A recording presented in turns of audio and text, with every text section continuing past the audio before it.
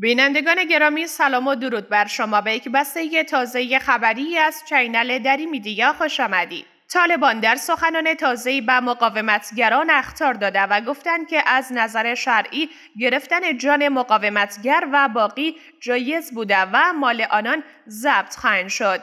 یک ملای هوادار طالبان از مردم پنشر خواسته است که به خواستهای غربی ها توجهی نکنند و تابع نظام اسلامی و امارت اسلامی باشند.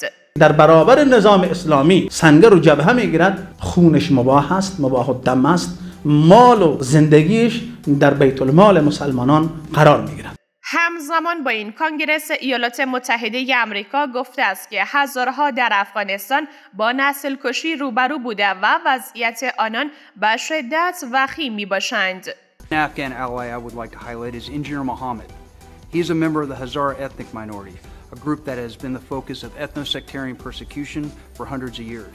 در همین حال مولوی عبدالکبیر در سخنان تازه گفته است که با کمک و یاری همدیگر و تمامی مردم افغانستان این کشور را آباد خواهیم کرد. مجاهدین دی او کندکتران اقتصادپوهان انجینر صاحبان ادیبان دی دا زموږ شدید کور به همچنین جنرال مبین در سخنان تازه از پاکستان به شدت انتقاد کرده و پلیسی وی را زهر قاتل برای مردم افغانستان عنوان کرده است. اډي ورکول دلته ودونه بمبارول. اوس بیا مسلمان ورور شولې. اوس چې د ایم اف قرضدار شولې. اوس چې اقتصادي ضربه دی ولیدله. همزمان با این تحریک طالبان پاکستانی ادعا می کند که برخی مناطق در پشاور را در کنترل گرفته است و در آنجا دارای اختیارات کامل است. همچنین یک عضو حزب امران خان کشته شده است. در همین حال والی طالبان در بدخشان در سخنان تازه گفته است که در افغانستان خدای همه یک نظام و فکر همه نیز باید یکی باشد. همزمان با این. خالد حنفی وزیر امر به معروف گروه طالبان می‌گوید که در برابر این گروه تبلیغات منفی جریان دارد و آن اینکه افراد طالبان زنان را از مناطق هزاره و تاجیک نشین بازداشت کردند. با ما باشید و از جزئیات این اخبار و چندین گزارش تازه و مهم دیگر آگاه شوید. اما قبل از آن جهت حمایت از ما لطفا ویدیو را لایک نموده و channel ما را subscribe کنید.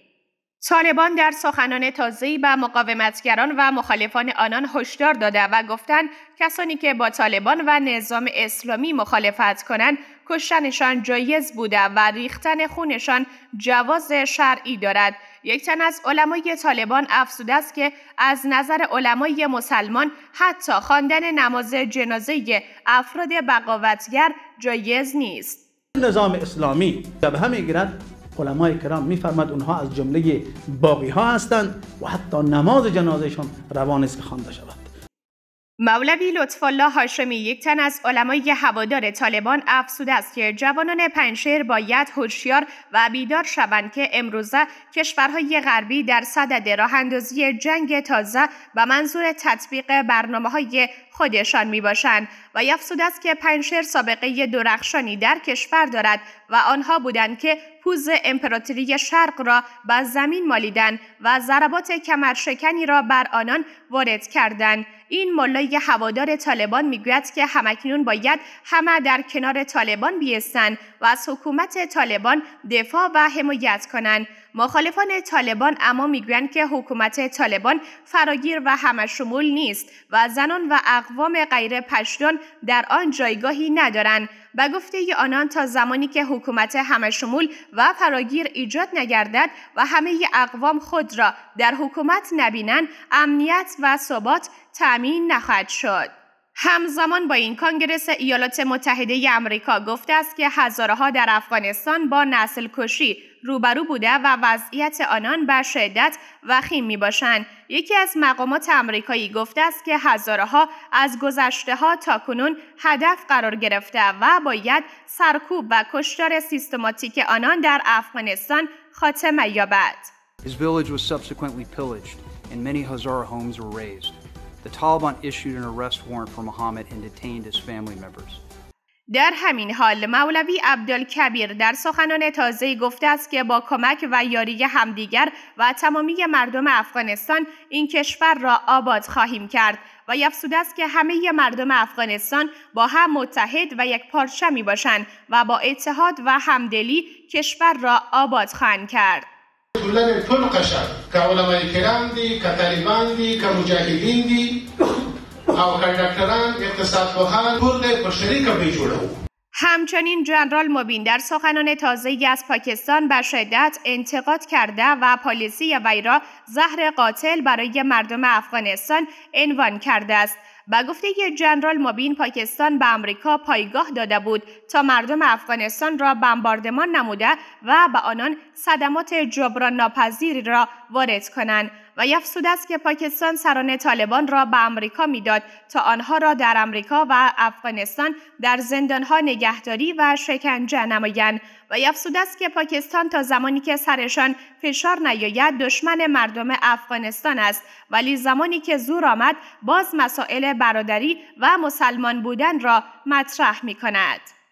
چې زور پې زه مسلمان ورور یم. هغه وخت کې بیا مسلمانی نسته چې امریکانو په ما بمبار کو دوی اډې ورکړي هغه وخت مسلمانی نه و چې ملا ضعیف امریکانو ته در همین حال تحریک طالبان پاکستان ادعا می کند که برخی مناطق در پشاور را در کنترل گرفته است و در آنجا دارای اختیارات کامل است.